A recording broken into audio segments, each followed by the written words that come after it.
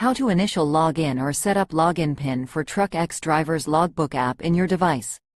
Once added as a driver in the FMS by the owner, you will receive a four-digit TruckX verification code on your cell phone.